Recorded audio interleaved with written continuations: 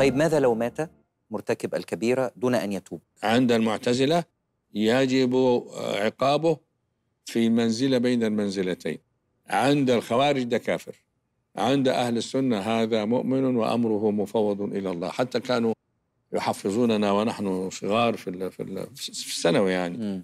ومن يمت ولم يتب من ذنبه فأمره مفوض لربه.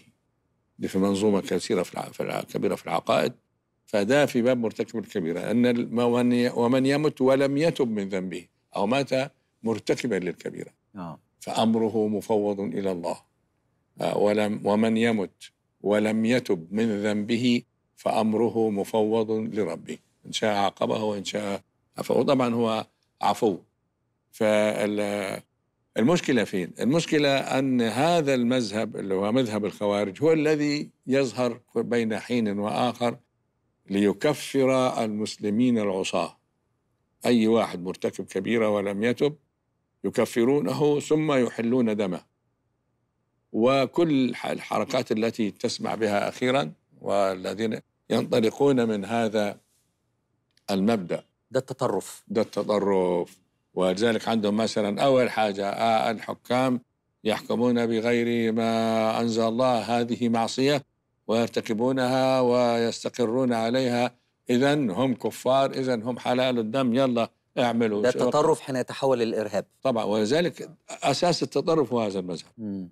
لأنه أصله هو لا يقتل إلا إذا اعتقد أن قتله مباح أو أن دمه حلال.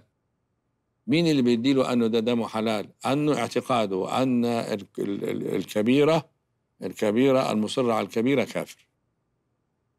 لكن شوف بقى يعني كل الأئمة ويعني والله هم كمان ما يجوا حاجة في عشرة في المية ولا شيء. يعني هذا هو مذهبهم. فضيلة الشيخ ماذا ينبغي أن نفعل لكي نترجم إيماننا ومعرفتنا بأن من أسماء الله الحسنى الغفار في حياتنا وفي سلوكنا اليومي؟ أو طبعا يعني التخلق بهذا الخلق هو أن الإنسان يغفر لأخيه الإنسان. آه. ويعفو عنه. ويصفح. ويتعود هذا الصفح.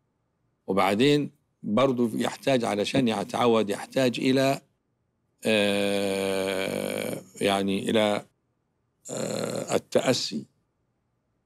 ويتقصى المواقف النبي صلى الله عليه وسلم والقرآن الكريم في مثلا وليعفوا وليصفحوا ألا تحبون أن يغفر الله لكم؟ لأن كما تحبون أن الله يغفر لكم فأنتم أيضا مطالبون بأن تغفروا لبعضكم البعض. لا لمن يخطئ في حقكم. م. وهذا هو أهم درس من هذه الحلقة. فضيلة الإمام الأكبر الأستاذ الدكتور أحمد الطيب شيخ الأزهر الشريف ورئيس مجلس حكماء المسلمين. شكرا جزيلا لكم على هذه الرحلة النورانية مع اسم الله الغفار.